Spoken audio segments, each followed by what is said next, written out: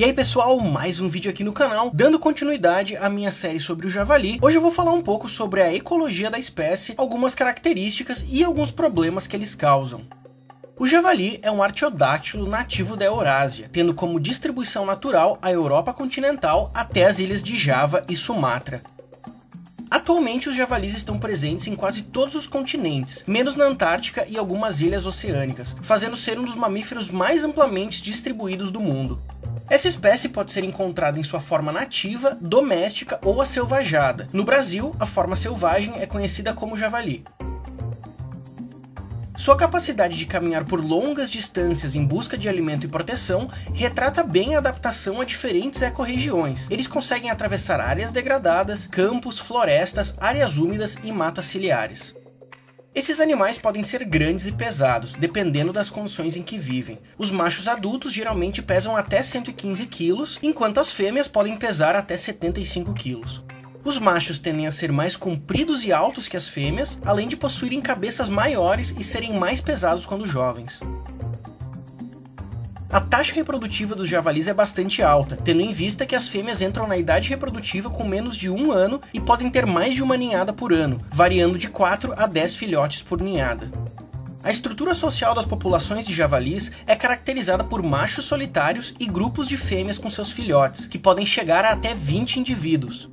Os machos passam a viver sozinho depois que atingem a maturidade sexual e se juntam aos grupos somente para o acasalamento ou para dividir fontes de água e alimento. Esses machos possuem caninos na parte superior e inferior da boca e os caninos crescem continuamente e são muito importantes na hora do ataque para disputar as fêmeas. Dependendo da abundância e distribuição dos recursos, o javali é ativo de 40 a 65% do seu tempo, sendo buscando alimento ou se deslocando. Os jovens de 3 a 8 meses tendem a ser principalmente diurnos, enquanto os adultos parecem ser predominantemente noturnos. Nos períodos de inverno, parece haver menor atividade noturna, o que pode estar associado à economia de energia. A espécie é generalista oportunista. Sua dieta é composta principalmente de matéria vegetal, mas consomem também invertebrados e alguns vertebrados. As culturas agrícolas também são uma fonte de alimento vegetal, sendo consumidas as culturas de milho, arroz, trigo, sorgo, batatas, aveia e feijão.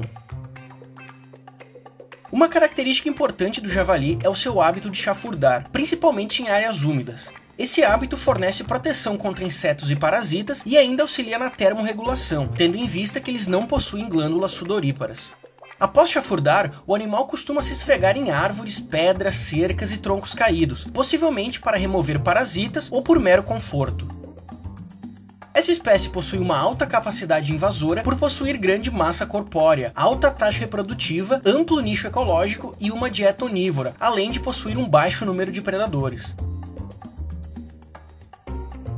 As espécies exóticas invasoras constituem a terceira principal causa de extinção de vertebrados no planeta, e o javali está na lista das 100 espécies invasoras mais graves, principalmente por problemas econômicos, como ataques a lavouras e como reservatório de doenças humanas e de animais domésticos, doenças virais e bacterianas, e também podem portar parasitas. Em relação à saúde humana, podem transmitir a brucelose, leptospirose, salmonela, tuberculose, toxoplasmose, sarna sarcóptica, Escherichia coli, triquinose, vírus da encefalite japonesa e doença do carrapato. Na pecuária e na vida selvagem, as doenças incluem a brucelose suína, tuberculose, febre suína clássica, parvovirose suína, vírus da doença de Algesk, triquinose, febre suína africana, erisipela, salmonela, estomatite vesicular e a peste suína. Essas doenças podem ser transmitidas pelo contato direto com os javalis ou com as suas fezes, pela ingestão de alimentos contaminados ou pelo consumo de carne de javali mal preparada.